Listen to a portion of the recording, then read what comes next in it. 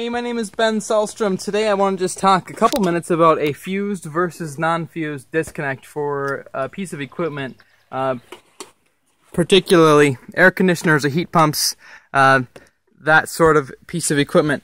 So in front of me here I've got two disconnects, and as you can probably guess, one is fused and one is non-fused.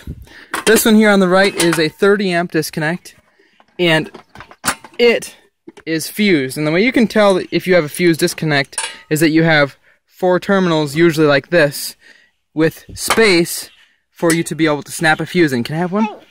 Thank you. So, you take your fuse here, and you snap it in place, like that. You one?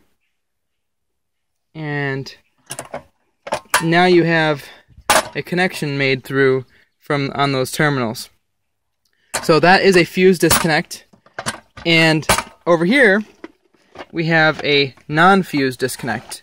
Now, as you can see, this has no space for you to put a fuse.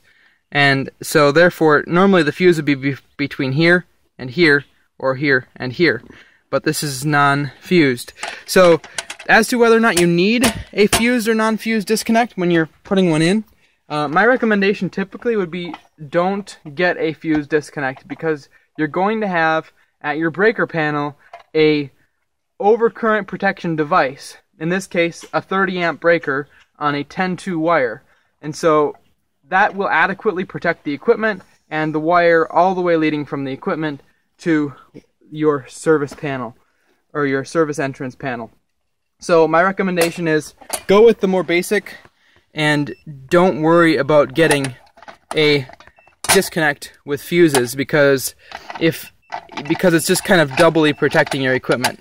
There are certain cases where uh, a fuse disconnect is required, but typically you should be fine to go with a non-fused disconnect. So, hope this helped you. If it did, please rate it up and feel free to subscribe for more awesome, super fun and exciting topics like wiring your air conditioner. Talk to you later.